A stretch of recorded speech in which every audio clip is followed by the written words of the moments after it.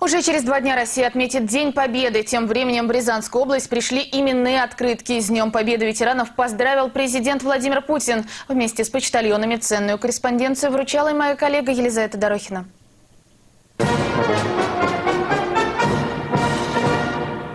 К письмам с красным штемпелем и георгиевской лентой на почте относятся особенно трепетно. Все они непременно должны найти адресатов в преддверии праздника.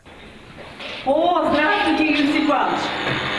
Поздравляем вас с наступающим Днем Победы! В канун Дня Победы почтальоны по всей области доставят более 32 тысяч писем с поздравлениями от президента Владимира Путина. Письма к нам доставляются с э, почтанта очень строгой отчетности. Лично каждого поздравляем, вручаем.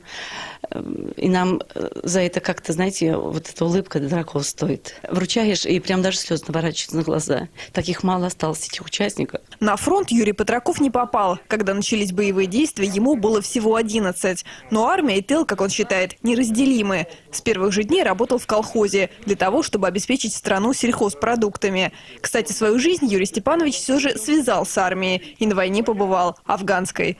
Поздравления с праздником Победы с нетерпением ждет каждый год. От души желаю вам здоровья, благополучия и успехов. Президент Российской Федерации Владимир Путин. Это очень волнующее событие, когда лично на квартиру почтальон приносит такие поздравительные э, поздравления. Это говорит о большой ответственности почтовых работников и о большом внимании к нам непосредственно ветеранам. По всей России таких поздравительных писем за подписью главы государства вручат около трех миллионов. И впервые персональные послания будут доставлены ветеранам, проживающим в Крыму и Севастополе. Елизавета Дорохина, Валерий Чикин, Вести, Рязань.